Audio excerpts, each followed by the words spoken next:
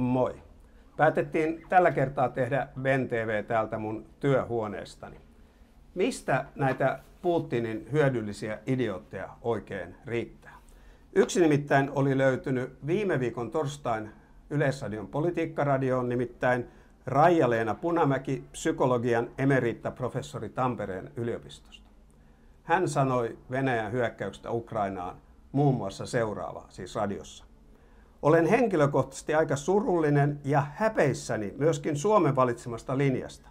Katsotaan, että ukrainalaiset taistelevat meidän arvojemme puolesta. Eikö ne sitten taistele? Ne taistelee kansojen itsemääräämisoikeuden, vapauden, demokratian, alueellisen koskemattomuuden puolesta. Venäjän raakalaismaista hyökkäystä vastaan. Eikö nämä ole meidän arvoja? Se ei tarkoita, että Ukraina olisi joku ihannevaltio, mutta eikö se nyt tässä tilanteessa taistele sellaisten arvojen puolesta, joita mekin pidämme arvossa ja kunnioitamme.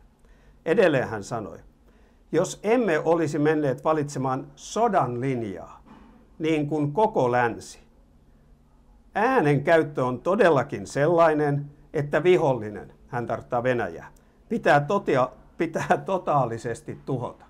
Siis kuka on mennyt sanomaan ja missä Raija-Leena Punamäki, että Venäjä pitää kokonaan totaalisesti tuhota. En mä ole huomannut kenenkään sanoneen niin. Sen sijaan mä oon huomannut Putinin ja kaikkien hänen lähipiirinsä ihmisten sanoman, että Ukraina pitää tuhota itsenäisenä valtiona ja itsenäisenä kansakuntana. Edelleen tämä Punamäki sanoo seuraavaa. Sitaatti. Anteeksi kuinka? Eikö kuitenkin Ukrainan alueella elä venäläisiä ihmisiä myöskin Itä-Ukrainassa? Ihan viitisen miljoonaa. Kyllä, siellä elää venäläisiä, venäjän kielisiä. Ja juuri näitä Putinin sotakoneisto surmaa, pommittaa, murhaa, raiskaa, ryöstää. Juuri nämä ihmiset televisiossa kertovat, että me emme kaipaa tänne Putinin porukoita meitä mistään vapauttamaan. Ja tätä hän sitten niin kuin käyttää tässä argumenttina, että siellä on 5 miljoonaa venäläistä. Siis siellä on ukrainalaisia, venäjänkielisiä ukrainalaisia, jotka vastustavat tätä hyökkäystä, koska he kärsivät siitä joka päivä. No, sen lisäksi hän puhuu täällä vielä Naton sotahuumasta, jota kuulema Suomessa on, ja lopettaa näin. Kyllä päättäjien pitää olla sillä tavalla pystypäisiä ja suoraselkäisiä, että loppuu tällainen sotalietsonta meidänkin puolelta. Siis mekö, Ukraina ja Ukrainan tukena olevat, lietsomme sotaa.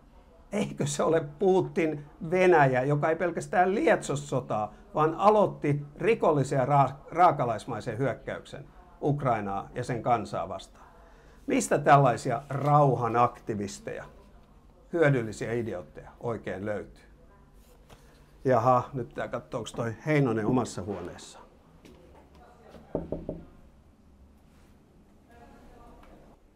Jaha, Heinonen ei olekaan paikalla.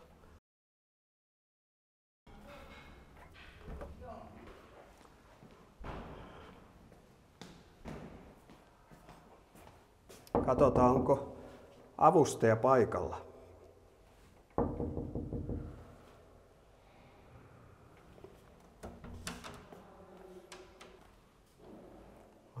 Ei ole avustaja paikalla. Katsotaan, onko avustajan sihteeri paikalla.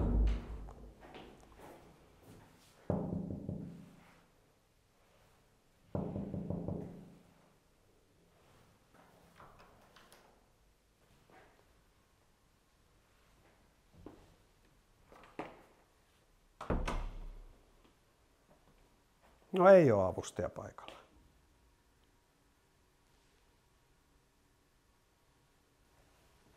Mä odotan tässä avustajan sihteerin sohvalla.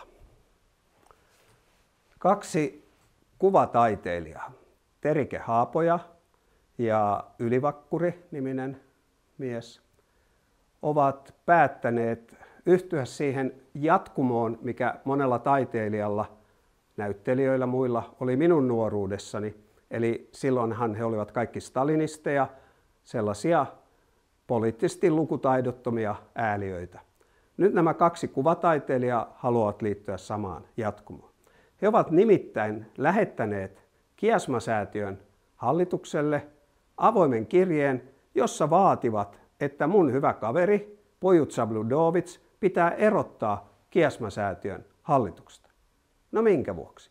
No sen vuoksi, kun hän kannattaa Israelin valtiota ja tekee työtä sen puolesta. Tiedättekö taiteilijat, minäkin kannatan Israelin valtiota. Pitäisikö mut sitten erottaa eduskunnasta samalla tavoin? Eikö suurin osa kaikista juutalaisista ole Israelin valtion puolella? No pitäisikö nämä juutalaiset sitten sen takia erottaa nykyisistä luottamustehtävistään tai jopa nykyisistä työtehtävistä?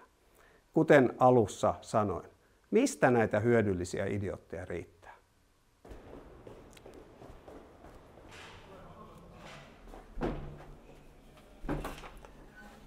Mä olen noin miljoona kertaa sanonut tässä Laatumedia Ben TVssä, että nykyinen Marinin vasemmistohallitus ei osaa laittaa asioita tärkeysjärjestykseen, vaan kaikki välttämättömät lisämenot on rahoitettu velalla ja mistään vähemmän tärkeistä ei ole oltu valmiita säästämään. Kaikki ei ole mua uskonut, mutta nyt kyllä kannattaa asiantuntijoita uskoa. Nimittäin valtion talouden tutkimuslaitos eli VAT sanoi tällä viikolla eduskunnan talousvaliokunnalle seuraavaa. Suora lainaus. Ilman päättäväisiä julkisten menojen merkittäviin pienennyksiin ja talouden tasapainottamiseen tähtäviä toimenpiteitä. Riski talouden haaksirikkoutumisesta, siis talouden haaksirikkoutumisesta, kasvaa. Tältä pohjalta onkin hämmästyttävää, että talouspolitiikan nimetty päämäärä, kestävä julkinen talous, ei näy budjetissa sellaisina olennaisina toimenpiteinä, jotka merkittävästi tasapainottaisivat julkisen talouden tilannetta. On merkille pantavaa, että kohdatusta kriiseistä huolimatta ei ole ryhdytty toimiin. Sitaatti kiinni. Valtiovarainministeri Saarikko, ei se auta, että teillä on hyvät puheet, kun toimenpiteet on jotain aivan muuta. Moikka! Ah, Petteri. terve, terve.